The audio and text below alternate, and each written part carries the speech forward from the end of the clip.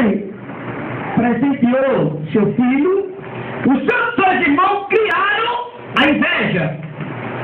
E hoje o que a gente vê hoje é a inveja crescendo. Tem gente que não faz e tem raiva